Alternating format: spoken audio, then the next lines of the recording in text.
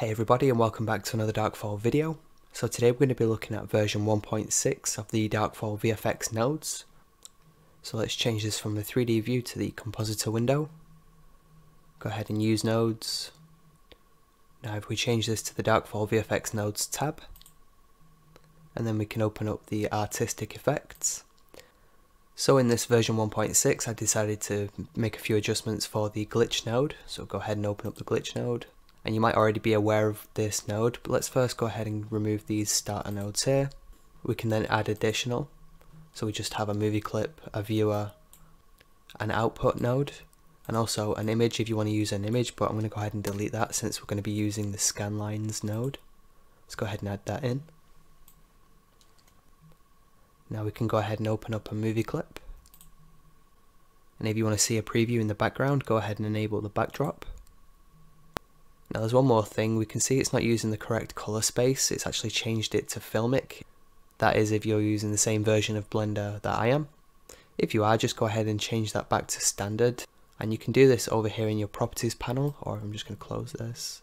Or you can do it here in the render settings tab. And this panel is mainly when you're ready to render it all out, just go ahead and change the details that you need to change. But what we need is down here under color management, we can see by default Blender has set this to Filmic, so I'm going to change this back to standard. And we can see it's using the correct color space. So again, we can come back to this when you're ready to render everything out. But for now, let's go ahead and take a look at the glitch node. Let's go ahead and add this in. So select it, drop it in and connect it up, like so. And then we can also connect up the scan lines to the glitch image. So if you've used this before, you'll probably notice two new things. We have the area of effect, which right now does nothing until we actually plug something in. And the next thing is the glitch movement is now in orange. So I'll explain the area of effect in a second, but let's go ahead and uh, change a few of these things so we can actually see it in the background.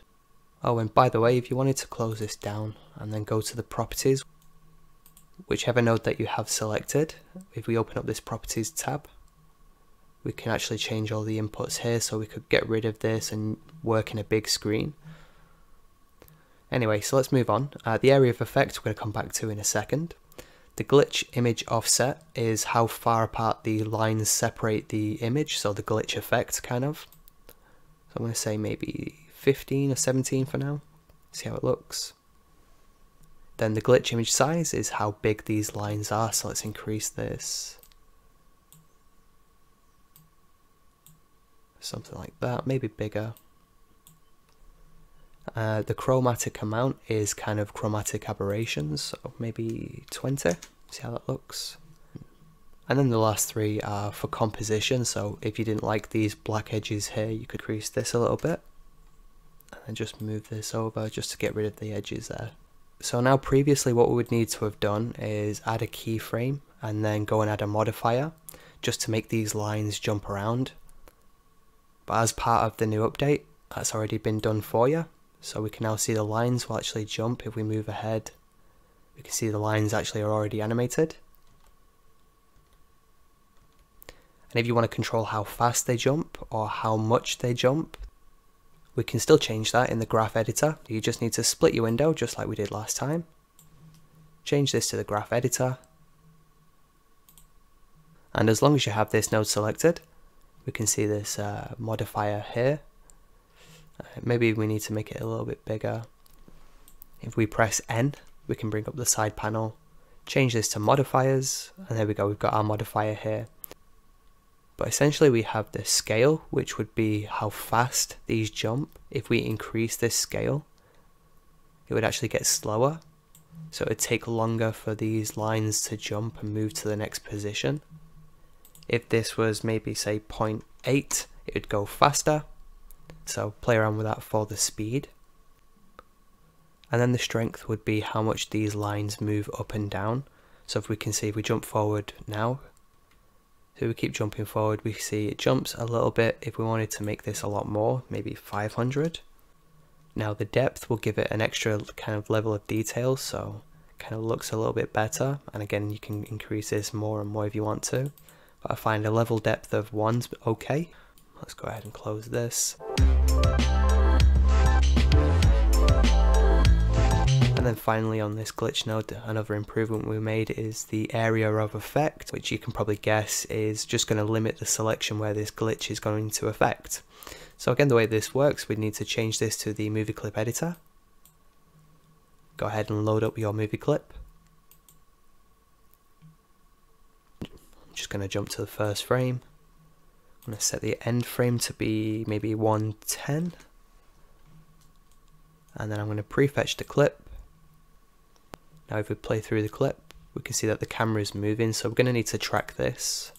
And again, we've done plenty of things like this in the past, so you guys probably already know how to do that. So I'm going to run through this pretty quickly. So I'm going to change this to location rotation. Probably don't need to for this example, but I'm going to do it anyway.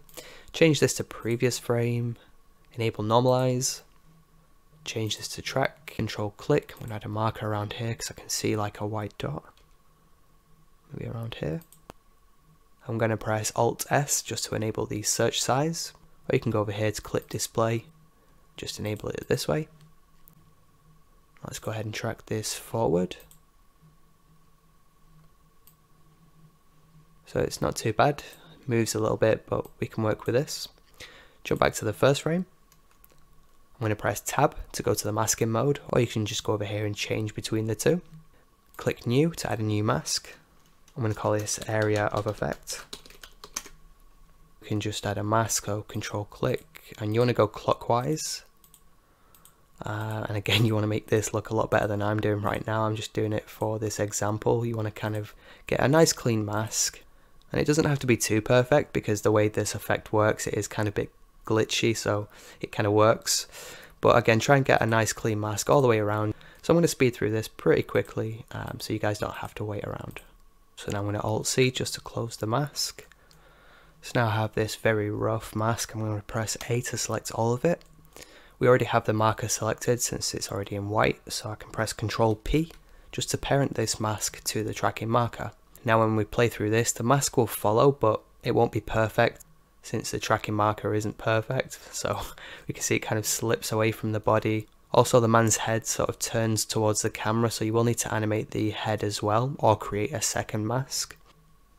So real quickly I'm just going to go back to the first frame. Enable automatic keyframes since this frame is good. Again make sure we have all of this selected. Press G and then hit enter just to make sure we've added a keyframe on frame 1. Then we can just jump ahead and move the mask anytime it slips and then keep moving forward. Keep moving the mask. Again you want to make sure it lines back up. You want to make sure it's perfect. Another tip that might help if you select one of these points of the mask here if we press O to enable proportional editing we can see up here then if we press G it moves with proportional editing. And then if I just keep scrolling up on the middle mouse wheel just to make this smaller we can see it affects the points around the mask so that can help when you want to move things into position. Get like a kind of rough shape. Now when we've gone through all this and we're happy with our mask, let's go ahead and disable the automatic keyframes and then change this back to the compositor. Now we can shift A, input mask, Change this to the area of effect and plug this into the area of effect slot.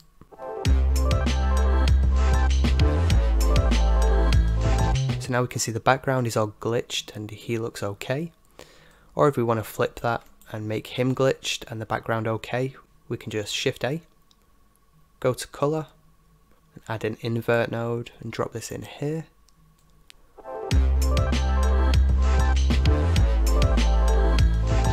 Or you could just go back to the movie clip editor and flip the mask that way. It's up to you which way you do it. It's not a big deal. So now as we play through this, the glitch effect should play through only on this guy. And again, you can play around with things and make it look a lot better than this. But I hope you find these improvements helpful. I know they're not really big improvements or major improvements, but I think they do help a little bit. They save more time. For example, you don't need to create a keyframe now, you don't need to add a modifier you can just load this up and it works by default.